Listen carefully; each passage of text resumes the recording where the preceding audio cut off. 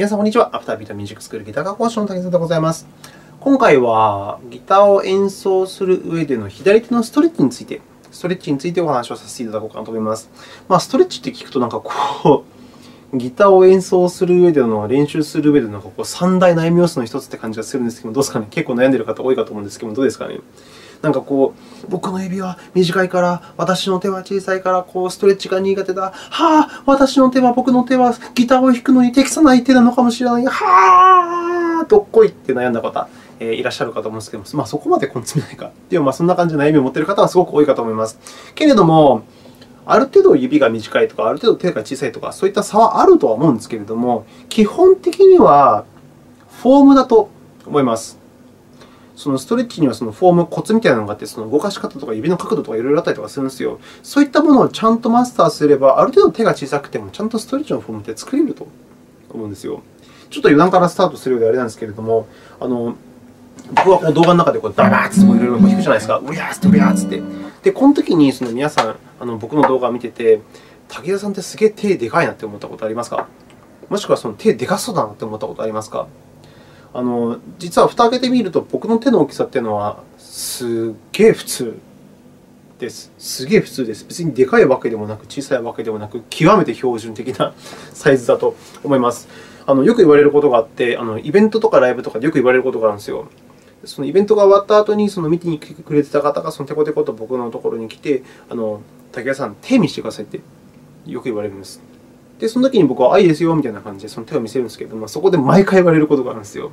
それ何かっていうと、意外と普通っすねって 言われるんです。もっとでかいかと思ってましたって言われるんです。もっとでかいかと思ってたんですけども、割と小さいっすねみたいな感じで言われるんですよ。むしろその手見せてくださいって言いに来た方の方が手がでかかったというパターンもすげえよくあります。そのくらい僕の手っていうのは標準的なんです。けれども、なんかこういろいろ演奏を見ている中で、この指がバーッと開いたりとか、いろんなストレッチのフォームしたりとかするのは、単純にその指の動かし方が分かっているからなんですよ。なので、まあそのね、僕みたいにその標準的な手のサイズでもあのストレッチができるということもあって、まあ、こんな話をさせていただこうかなと思ったんですけれども、まあ、よかったら参考にしてみてくださいませ。動画の最後の方で、えー、なんかこうね、指の長さを測ったりとかしてね、その遊んでみたいなと遊んでみたいなと思いますので、まあ、そういったところも、え、楽しんでいただければという感じでございましょうか。はい、こんな感じです。それでは、この動画でストレッチを克服していこうぜ。おい頑張るぜうおー今日から俺はストレッチマスター。エレキギターでもアコギでもどっちでも良いので、ちょっとギターを用意してください。アンプにつながなくていいです。ピックも用意しなくていいです。ちょっともうパッと動画を止めて、今ギターを取ってください。構えてください。人差し指という人差し指と小指を使って、えー、と運指練習をしていきましょう。人差し指で6弦の1プレットを押さえます。ブン。で、小指で6弦の4プレットを押さえます。ブン。ブンブン。で、5弦も同じように1、4と。ブンブン。3弦、あ、4弦か。4弦もブンブン。3弦。ブンブン。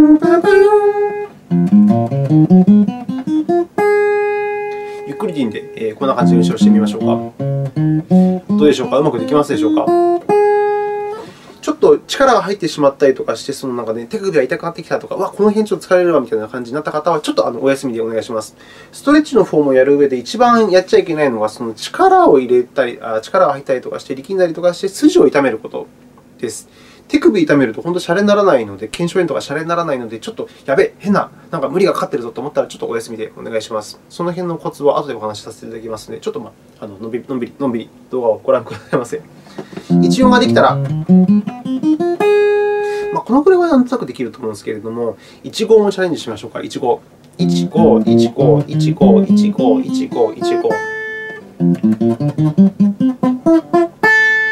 まあ、これがある程度楽にできるんだったら、多分この動画を見る必要ないかと思います。えー、まあ、参考程度に見ていただければという感じです。15、15、15、15、15、15、ストロベリー、ストロベリー、15、15、ストロベリー、ストロベリー、ストロベリー、ストロベリー。おや。あはんあ次は next time は、えと1と6でいきましょうか。1と6。1、5が余裕だぜという方は1と6でもチャレンジしてみましょう。1、6、1、6、1、6、1、6、1、6、1、6。OK、こんな感じ。something like that。1、6、1、6、1、6、1、6、1、6、1、6。で、これがまあできるぜ、まだいけるぜという方は1、7もチャレンジしましょうか。1、7、1、7、1、7、1、7、1、7、1、7。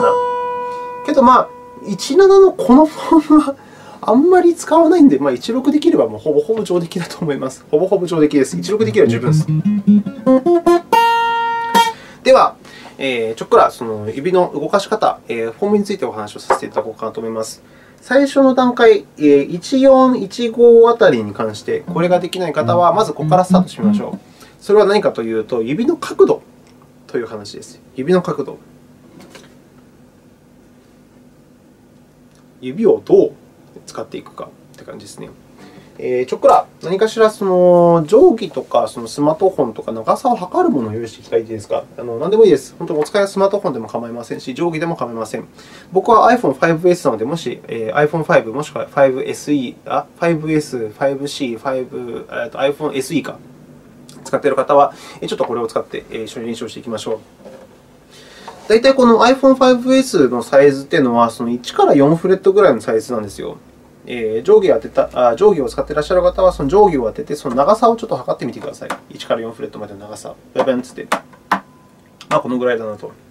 えー、スマートフォンを当てて、あのこのぐらいだなと、えー、測る感じでもいいです。まあ、なんとなくその長さをざっくり、ざっくり、測ってください。まあ、こんなもんかなと。で、長さをある程度測ったならば、その次やってほしいのは、左手をパーの状態にして、パーの状態にして、このスマートフォンもしくは定規を人差し指と小指の間に挟んでみてほしいんです。こんな感じ。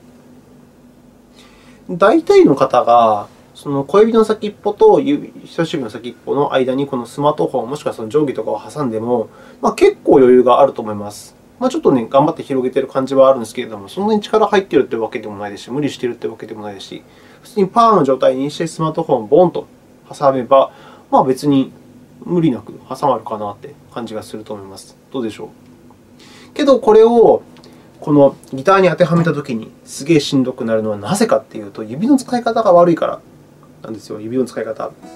人の指というのは、この、ね、パーの状態でこう指をガーッと伸ばすと、人差し指と小指、え親指それぞれがですね、この遠い状態にあるわけなんですよ。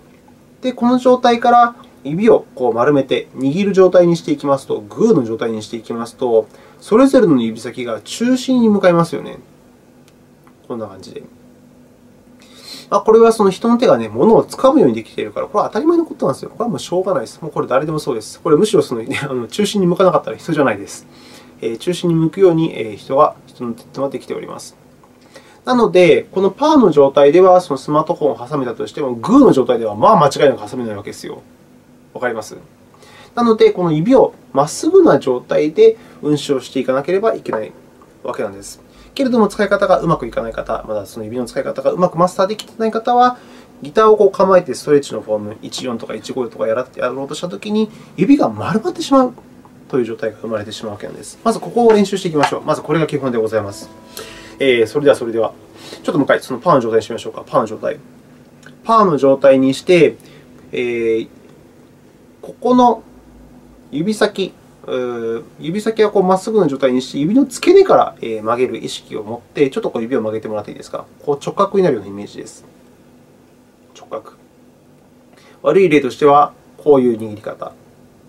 こうじゃなくて、この指先のそのまっすぐな面を保ったまま、こう曲げていってみましょうか。こういう感じです。で、同じように親指もこう曲げるんじゃなくて、こうまっすぐに親指の付け根からこのこの字になるようにこの指を曲げてもらっていいですか？この字。シュッシュッシュッと。悪い状態だとこういうことです。こうじゃなくてこう。指先をまっすぐ。えこのこの字ができたら、カタカナのこの字ができたならば、このまま、このままギターのネックにはめていきます。サクッと。この字を作ったら、そのままここにネックを挟みます。サクッ。そして、人差し指と小指をこうスススと横に広げていけば、扇状に広げていけば、1と4がすぐそこにあるかと思います。あとはこの角度の問題ですね。この字を作ります。ネックに挟みます。で、この状態でこの人差し指の先っぽ、この部分を6弦の1フレットに当てる当てると。で、小指のこの先端部分をバババッと扇状に広げて、6弦の4フレットに当ててあげると。これでフォームが完成です。うまくいかないぜなんか手が形、手の形が変になっちゃうぜという方は、この親指をフリーダムの状態でちょっとチャレンジをしてみてください。親指を使わずに、この親指をフリーダムにして、こっち側の指先だけでパーの状態ですね。つまりパーの状態にして1と4にやってるようにちょっとチャレンジをしてみてください。で、うまくフォームが作れたならば、さっきと同じように14、14、14、14、14、14と運指をしていきます。こんな感じです。まだうまくできない方いらっしゃいますでしょうか？うまくできた方いらっしゃいますでしょうか？まだうまくできないぜ、なんか変だぜ、なんかぎこちないぜという方は、もうちょっと、えー、深く突っ込んでみますと、このギターの角度もとても大事です。あの僕がこう正面を向いていたら、そのギターがこう45度に斜めになっているんですけれども、こんな感じで、えっと、左手とこのネックの間、ここの空間ですね。ここを広く保ってください。ここです。ここの空間です。これが体とギターが平行になってしまって、この左手とこのネックの空間、ここですね。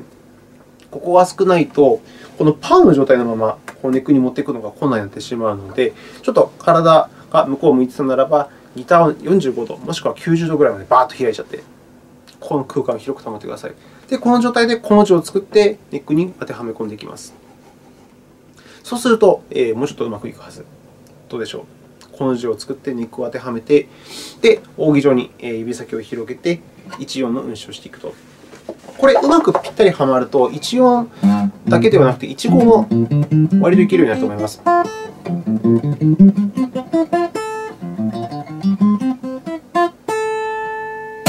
こんな感じ。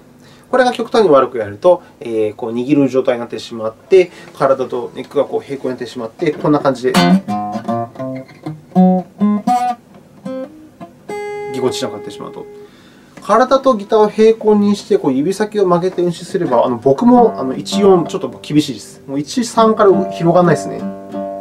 けどそうじゃなくて、指先を曲げるんじゃなくて、伸ばす。いきます。伸ばします。うーん、せい。悪い例だと、うーん、ほい。正しい例は、うーん、ほい。こんな感じ。うまくいけば16もできちゃうかもしれないですね、このまま。そんな場合です。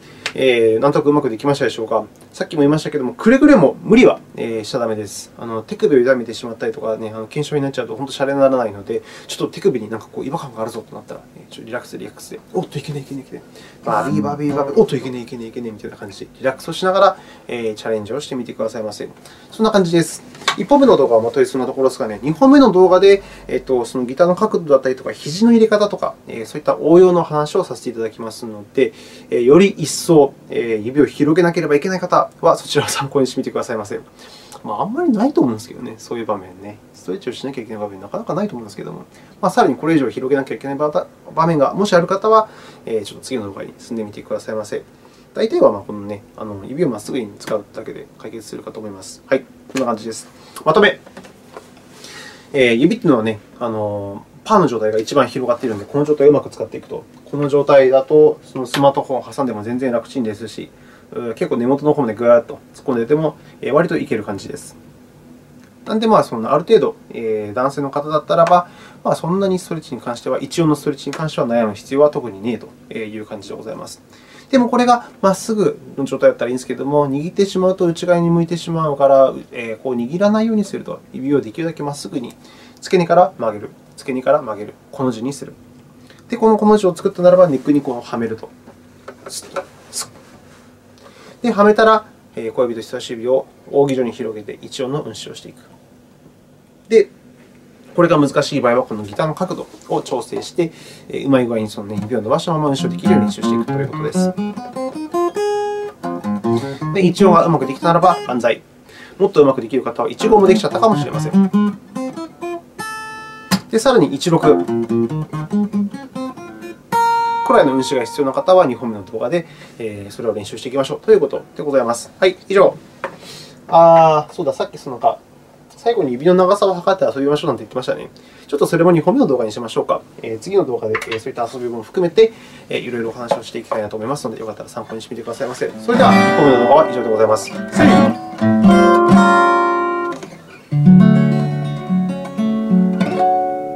また違う動画でお会いいたしましょう。さようなら。